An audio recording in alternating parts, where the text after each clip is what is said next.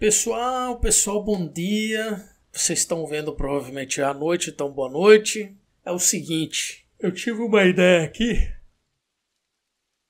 Eu tenho uns jogos na minha lista de desejo e eu queria falar sobre eles. São jogos que eu tô muito afim, que eu tô esperando bastante. E aí eu resolvi trazer o trailer deles aqui, falar um pouquinho de cada um. Não, não vou necessariamente fazer análise dos trailers. Talvez eu faça uma outra coisa. Mas é tipo uma dica do meu top 5. Acho que eu vou fazer 5. 5 dicas. E de jogos, é, se eu não me engano, a maioria deles é independente, ou todos são. Então se você tá sem ideia, e você tá, sei lá, querendo adicionar alguma coisa na sua lista de desejo, de repente jogos que você talvez se interesse e queira jogar, vou deixar aqui a minha lista. Ou se talvez você só queira saber o que, que eu tô pensando, o que, que eu tô interessado. Então eu vou deixar aqui para vocês, eu vou mostrar para vocês é, o que, que me atraiu nos últimos tempos aí. Tem jogos que já estão adicionados na minha lista, tem acho que um ano, dois anos. E eu tô só aguardando a estreia deles. Então vou começar com esse aqui, que é uma novidade. Foi anunciada na E3 agora, de 2021. E caramba, eu fiquei muito feliz porque eu não estava esperando. Eu joguei o primeiro, me parece ser uma continuação. Eu joguei o primeiro, achei fantástico. E o nome desse jogo é Far Changing Tides. Continuação direta do lindo, inclusive um pouco até curto, né? Um, é um jo jogo curto, é bem curtinho, mas lindo jogo indie chamado Far Lone Sales, em que você não tem diálogo, o teu personagem principal não tem rosto, não tem voz e ele é bem pequenininho na tela e você e você tem que administrar um barco completamente experimental, um barco assim que eu nunca vi na minha vida, um barco que parece um, ele parece um foguete, sei lá, eu não sei nem definir direito, ele parece o corpo de uma cachalote de metal, é um negócio muito bizarro. E é um barco que anda no deserto, ele anda na terra, ele anda no solo. Olha, o jogo é o jogo é lindo, o jogo é maneiro. Se você curte jogos indies e jogos curtos e jogos é, casuais, com um pouquinho de puzzle, eu acho que vocês vão amar o jogo Farlon Sales. E esse aqui é a continuação direta do Farlon Sales, chamado Farlon Tides. Far Changing Tides. Não sei se é o mesmo personagem do primeiro jogo. Para falar a verdade, eu não sei. Me parece que não é, me parece que é outro personagem. Mas nesse nós vamos ter água.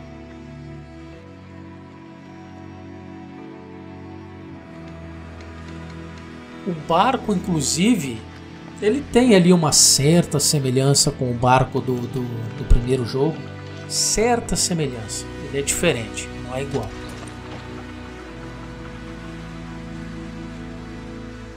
Mas eu gostei que agora você vai para água. Isso achei fantástico. E, e, pelo visto vai ter a mesma pegada do primeiro. E tomara, inclusive, que seja até um pouquinho maior, porque eu gostei tanto do primeiro. Pena que ele foi tão curtinho. Eu fiz uma review dele no Steam, inclusive. Eu dei nota 10 para ele. Olha aí, ó, puzzles. Far Changing Tides. Tá aí na minha lista de desejos entre o top 5 da minha lista de desejos e fica de recomendação para vocês. O próximo que eu vou indicar aqui é um jogo chamado Where Cards Fall, aonde as cartas caem. Eu acho que essa seria a tradução. Eu não sabia absolutamente nada desse game quando ele foi anunciado, nada, nada, não tinha trailer, não tinha nada, tinha tinha umas fotos, tinha apenas umas fotos. E finalmente saiu o trailer. E diga-se de passagem, o trailer do Where Cards Fall tem uma explicação sobre o que o jogo é e como é que as mecânicas do jogo vão funcionar. E eu fiquei mais animado ainda com ele. Mas ao invés de eu ficar falando, vamos ver o trailer. Veja a minha outra indicação de um jogo indie chamado Where Cards Fall.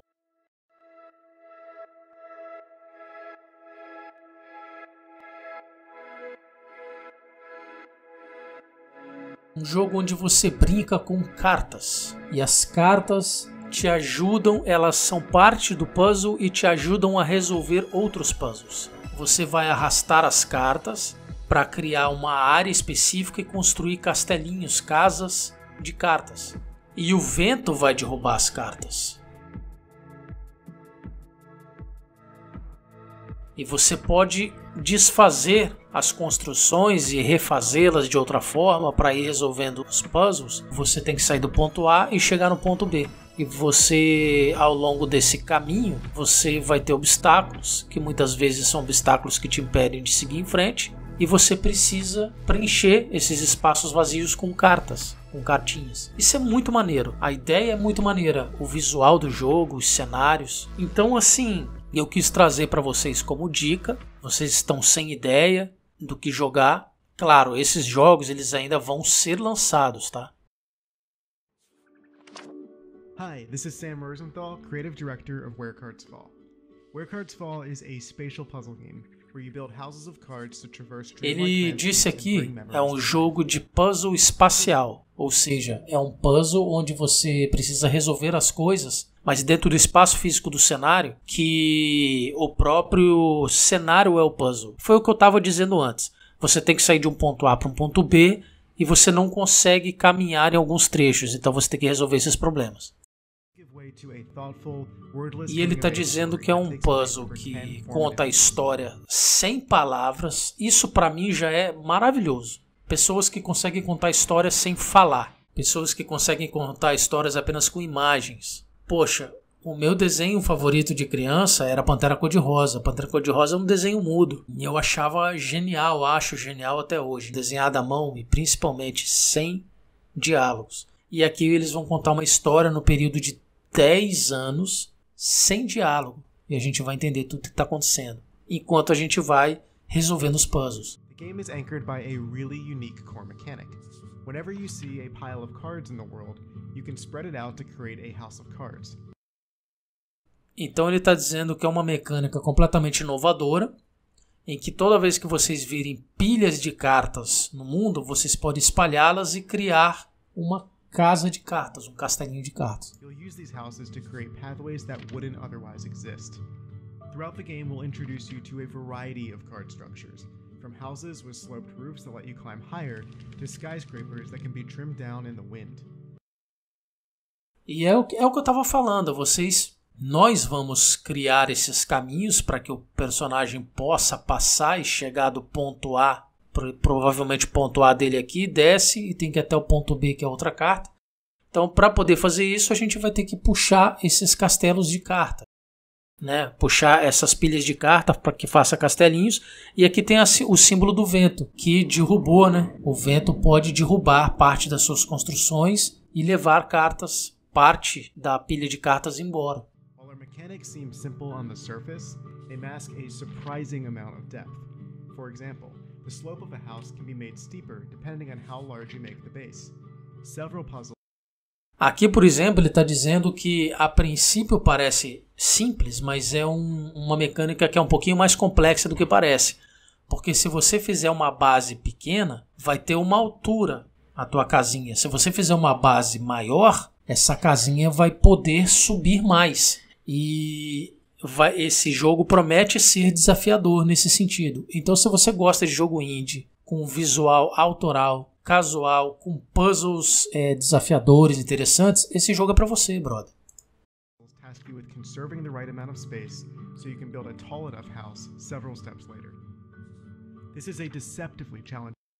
Eu falo brother, mas eu sei que tem menina que me acompanha, então brother fica para vocês também. Não se sintam excluídas.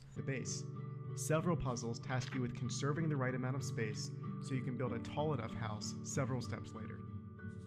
This is a deceptively challenging game. The hardest puzzles in Where Cards Fall are actually the smallest.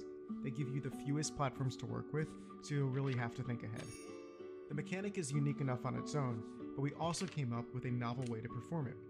Where Cards Fall has creative gestural controls, whether you're playing with a mouse or with a controller. If you're playing with a mouse, you'll click and drag to spread out the cards and release to build a card structure. If you're playing with a controller, Ele está dizendo aqui que vai ser possível jogar esse game tanto com mouse quanto controle, o, gamepad. Né? from how the UI is embedded in the card animations, to how our audio director recorded sounds from tons of different types of paper stocks, to how the art style takes cues from the Bauhaus movement, but before I get carried Então essa é a minha you segunda dica para vocês. Where Cards Fall. Procurem no Steam, porque eu acho que vocês vão curtir bastante esse game de puzzle indie, né? Game indie de puzzle é, que parece ser maravilhoso. Vamos falar sobre outro game que está no meu radar já tem um tempo, chamado 12 Minutos. Vejam os trailers e daí a gente conversa um pouquinho.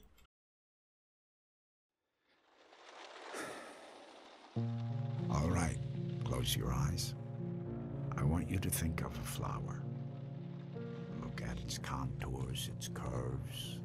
Now I want you to imagine it changing, moving backward, returning to its bud. Think of that bud, unopened. Look at it as a whole, then silently repeat these phrases. May you be free from suffering. May you be free from fear.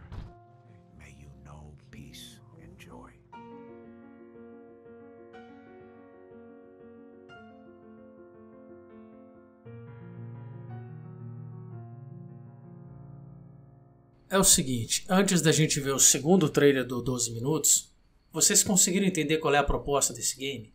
Olha, é o seguinte, esse jogo, ele ele te vai te colocar num local, numa casa em que você tá preso num looping de tempo. Quem já viu aquele filme é, Magia do Tempo?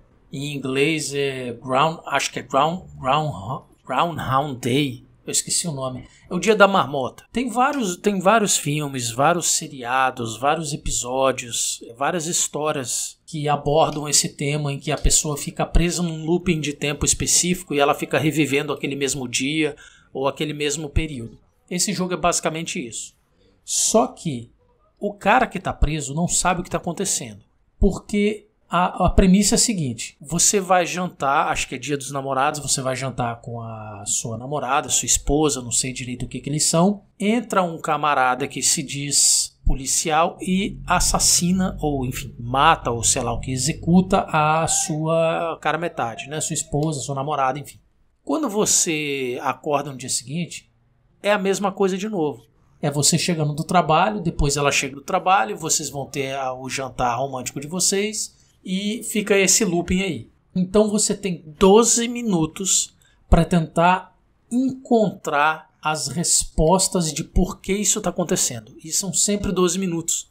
Então não é que você tem 12 minutos para tentar impedir que ela seja morta, não é especificamente isso. Você vai ficar nesse looping no jogo um bom tempo, porque a cada 12 minutos você vai ter que tentar extrair uma informação específica dela ou do algoz dela e tentar entender o que está acontecendo. Então vai ter momentos que vocês vão estar conversando na mesa de jantar, vai ter momentos que você, vocês vão estar conversando no quarto, na cozinha, na, no banheiro, que você vai tentar, sei lá, conversar com o algoz dela ou tentar lutar com ele, esse tipo de coisa.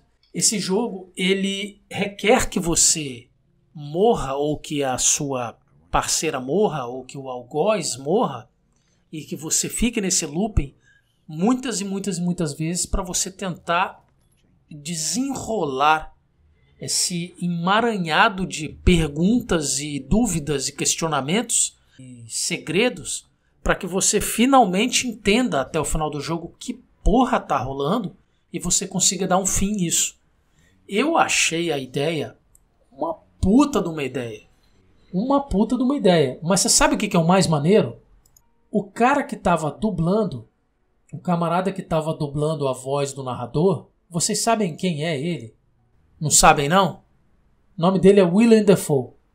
Ah, quem é esse cara? Se você não reconheceu pela, pelo nome que eu te dei, é esse camarada aqui. Ó. É esse camarada aqui. Esse é o Willem Dafoe. Tá reconhecendo ele? Ele é o policial, se eu não estou enganado, e ele é o narrador. Eu acho. Eu acho que ele é o policial também. O narrador eu sei que ele é. Ou pelo menos ele estava narrando no trailer. O outro, o outro ator, o outro dublador que seria o personagem principal é esse camarada aqui. Reconhece ele? Esse camarada aí tá reconhecendo?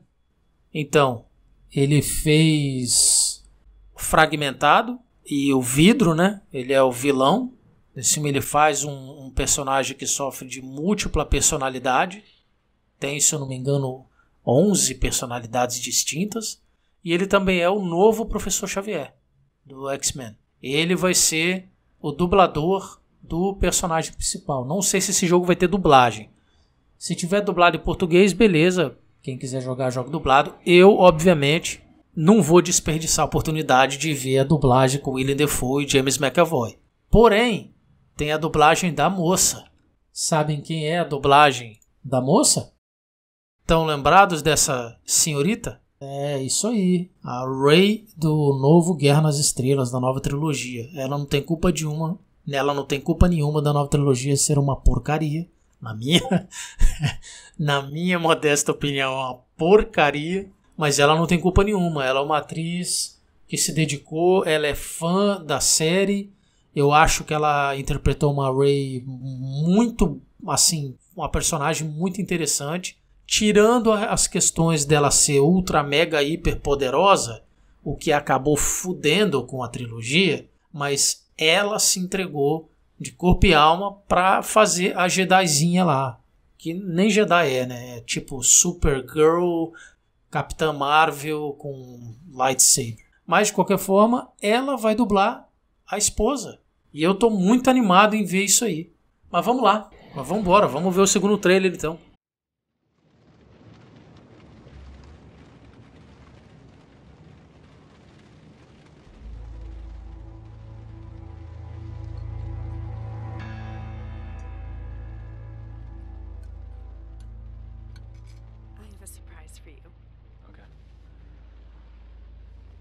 Hmm. You want to guess what it is? Hmm. this is an outfit for a newborn. You bought it this morning. You wanted to surprise me. I'm sorry. You're pregnant. You know? I know because you already gave it to me.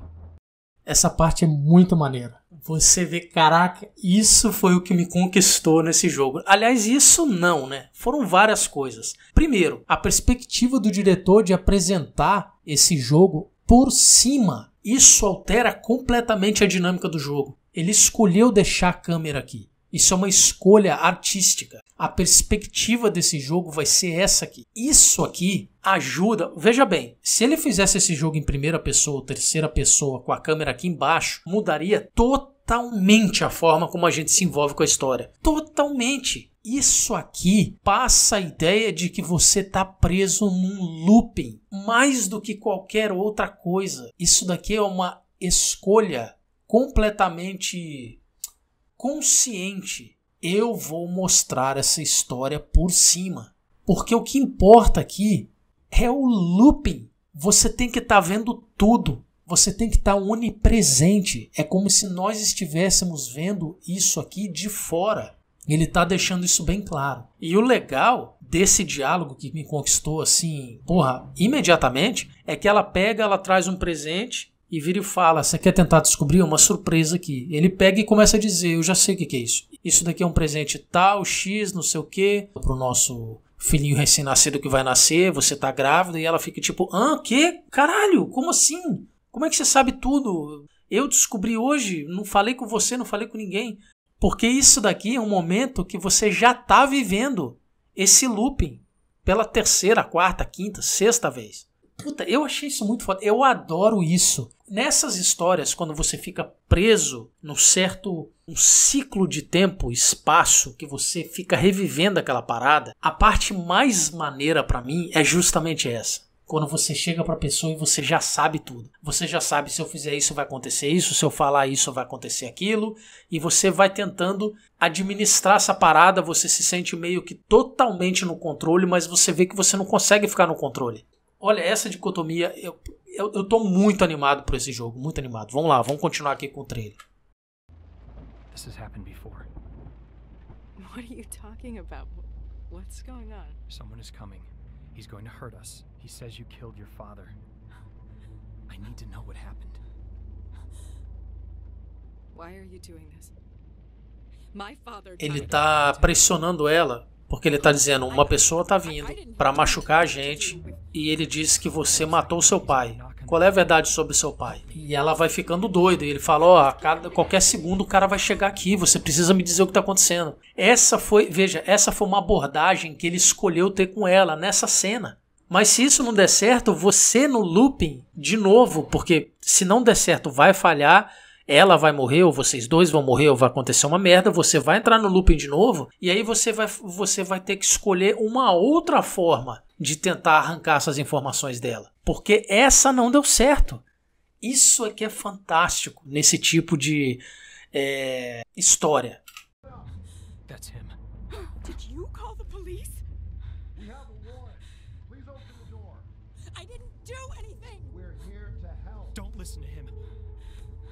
only chance. Open the door, right now! You know me. I love you. You have to believe me. Stop! No! Under arrest! Hey!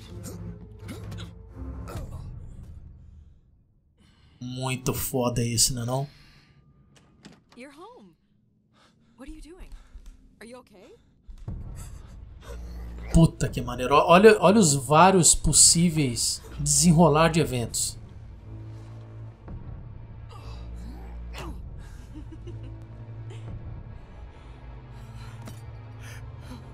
Esse jogo, ele promete muito. Ele promete muito. 12 minutos. Uma das ideias mais geniais que eu vi, mais originais, mais criativas que eu vi para um game em muito tempo, hein? Tem tudo para ser, sei lá, jogo do ano ou pelo menos competir como jogo do ano.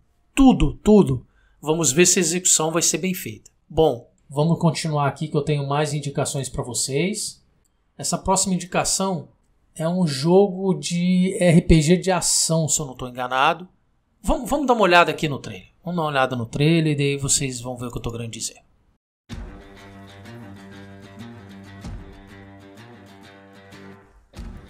Ele tem várias coisas que eu adoro, vários elementos de gameplay que eu adoro. Primeiro, tem loot, e eu amo loot. Tem exploração. Você pode encontrar equipamentos pode encontrar locais, pessoas, encontrar coisas que estão quebradas e consertar. Aparentemente, você pode fazer uma base. Tem a questão da sobrevivência, tem crafting. Esse jogo tem inúmeros elementos que eu amo no jogo. Ele tem essa visão de cima que eu adoro, que é isométrica, se eu não estou enganado. Tem zumbis.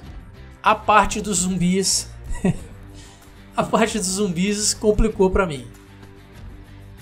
Mas pelo que a gente vê aqui, primeiro tem bons efeitos de luz.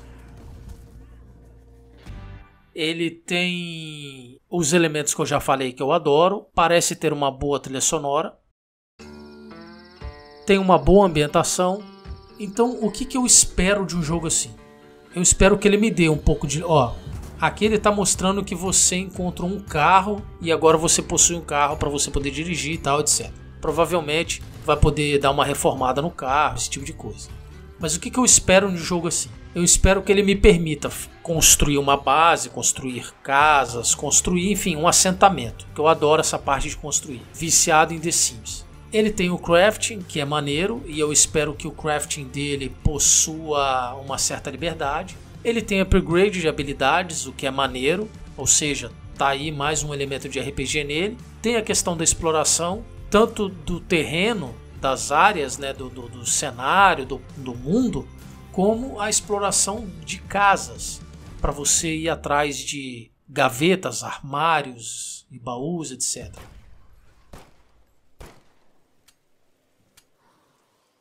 Agora tem um negocinho aqui no final desse trailer que eu queria chamar a atenção disso para vocês é que a escolha deles para cena final do trailer, para mim, foi perfeita. Eles mostram o personagem sendo cercado, a tela fica escura, você vai ouvindo os últimos tiros e daqui a pouco, clec, clec, clec, pente de munição vazio. Eu achei genial. Reparem.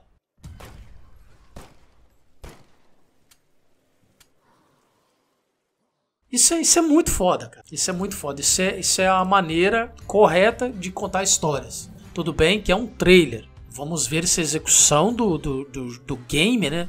Do desenvolvimento do game vai ser boa. Mas e, é, essa cena final, sabe o que, que ela me lembrou? Quando eu vi imediatamente, eu fui arremetido a uma história do Conan que eu é, conheci na década de 80, em que, aliás, é uma pena que não tenham feito mais filmes do Conan com o próprio Schwarzenegger, porque existiam inúmeras histórias do Conan que poderiam ter sido contadas, mas tem uma história específica que eu acho sensacional do Conan, que ele tem que ir para um lugar para, enfim, ele tem que explorar lá uma, umas catacumbas e tal, umas cavernas, umas grutas. Acho que eram catacumbas mesmo. E imagine um cenário tipo Diablo quando está explorando aquelas catacumbas e tal. Era mais ou menos aquilo. E quando eles chegam no local específico onde estaria o tesouro, eles começam a perceber que vários, vários esqueletos começam a se levantar, que era tipo uma armadilha barra maldição. E aí ele libera todo mundo para fugir e fala: Deixa que eu vou segurar esses esqueletos aqui. E cada vez que ele dá uma espadada e vai destruindo os esqueletos em vários pedaços, os esqueletos vão novamente se juntando, vão se formando e, e, e continuam vindo para cima dele. Então ele vai subindo, vai subindo, vai subindo, até ele chegar num ponto em que ele tá de costas para uma. Eu, eu acho que ele fica como se fosse assim no topo de uma micro, mini pirâmidezinha dentro desse. desse. dessa catacumba. E aí ele começa a ser cercado por, to por todos os lados por caveiras. E ele vai quebrando os esqueletos, vai destruindo os esqueletos com a espada, e os esqueletos continuam se formando, e você vê aquela onda circulando o Conan, aquele exército de esqueleto que ele destrói e volta, destrói e volta. E a história acaba dessa forma. E você fica pensando como é que ele saiu daí. E essa que é a genialidade da história, é deixar você pensando, imaginando, sem necessariamente te dar um desfecho. Ele te deixa naquele cliffhanger, naquele naquela dúvida, que é como eles terminaram esse trailer.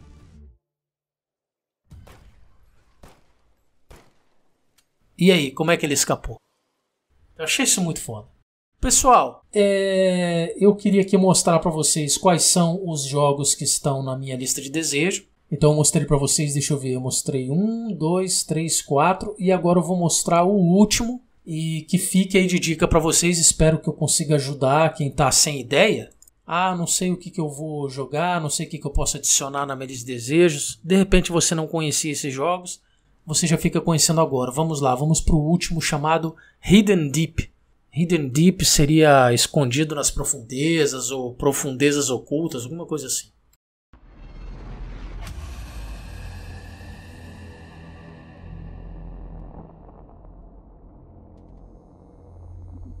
Jogo pixelado em que você pode jogar co-op ou sozinho controlando quatro personagenzinhos. E esse jogo é muito, mas muito influenciado por um filme de terror da década de 80, um filme sensacional de ficção científica de terror chamado Enigma do Outro Mundo. Em inglês, A Coisa, em que um organismo alienígena é encontrado no Alasca e ele começa a tomar forma de seres vivos, animais e seres humanos.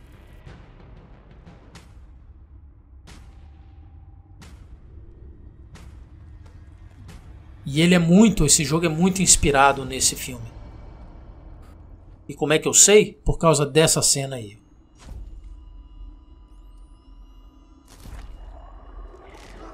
Tem essa exata mesma cena no filme e o curioso é que a reação do ser no corpo das pessoas quando ele assumia o controle era igualzinha a desse personagem em CNPC. Ele começava a tremer, tremer, tremer, tremer e ia assumindo uma forma disforme. Filmaço, tá? Filmaço, recomendo com o Russell Crowe, Russell Crowe não, desculpa, com como é que é o nome daquele ator, meu Deus? Kurt Russell. Kurt Russell.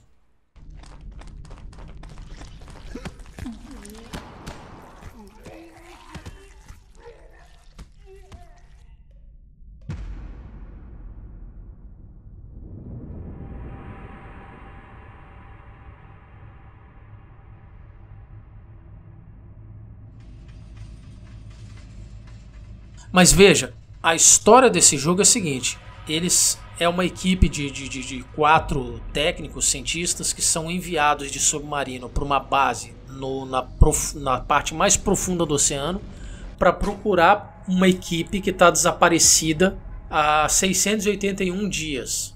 Perderam contato com a equipe e agora eles têm que procurar essa equipe. Então eles chegam nessa base e começam a, a explorar um emaranhado, um, um labirinto de cavernas e eles têm vários equipamentos e eu acho incrível, olha isso. A parte de equipamentos desse jogo é sensacional. E eles encontram essa parada inexplicável. Isso aqui já me arremeteu ao seriado Lost. Você não espera numa caverna, nas, nas partes mais profundas do oceano, encontrar um hatch, uma escotilha. Tipo assim, a gente já está na parte mais profunda do planeta. Quem é que botou a porra de uma escotilha na parte mais funda da parte mais funda? E o que é que essa escotilha esconde? Isso é muito foda.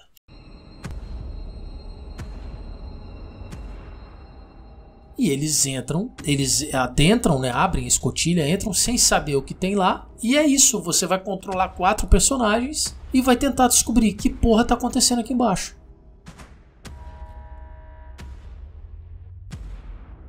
Só que tem uma série de coisinhas. Como eu disse, você pode jogar em co-op, parece que já tem co-op, daí seriam quatro pessoas jogando, ou duas pessoas controlando dois personagens, ou você joga sozinho controlando os quatro.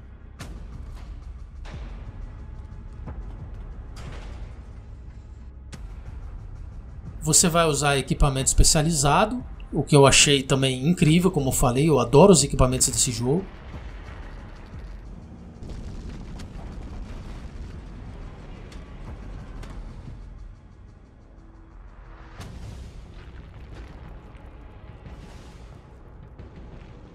Ah, isso que a gente está vendo é o estado pré-alfa do jogo, beleza?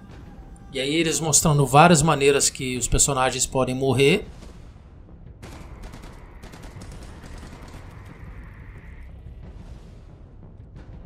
podem haver traições, ou seja, você não sabe se um dos personagens que você está controlando foi tomado pelo ser. Eu não sei exatamente como isso vai funcionar. Mas é um dark sci-fi, claustrofóbico, com alienígenas, conspirações, tem tudo para ser um jogo muito bom. Tudo para ser um jogão.